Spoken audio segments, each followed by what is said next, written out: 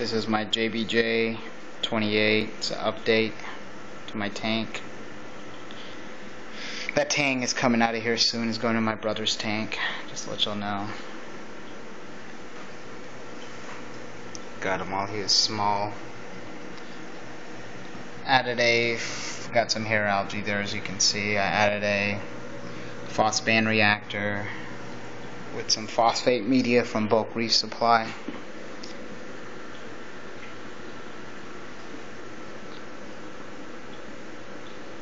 Got a bubble tip anemone up there that's split a couple of times now. Got a Vortech MP10.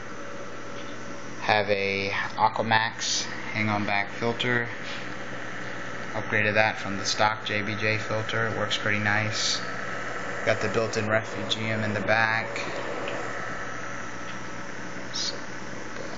And the JBJ chiller 115